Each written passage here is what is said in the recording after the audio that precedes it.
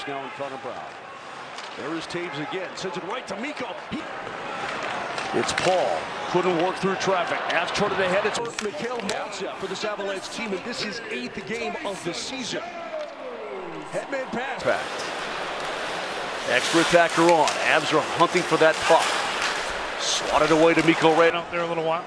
Hughes tries a long pass, turned the other way, and the Avs are right back in. Walters threw it right to Toews. Fight the crowd and traffic in front. He was able to send it away.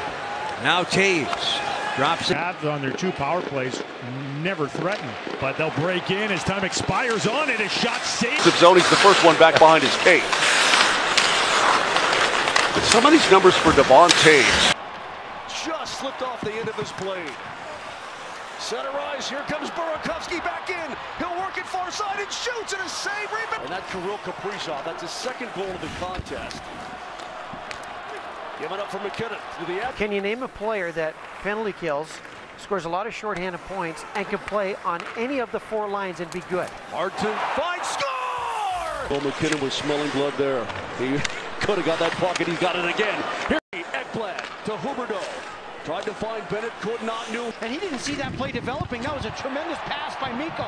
Big, Big hit, hit by Rantanen inside the Florida zone. Here's Burakovsky. Drops it for MacKinnon. Racing in, shoots him. Vesalainen couldn't get it deep. I had a different twist on that one. might, might have. Fired ahead, MacKinnon right up the middle, down the slot. MacKinnon shoots it wide.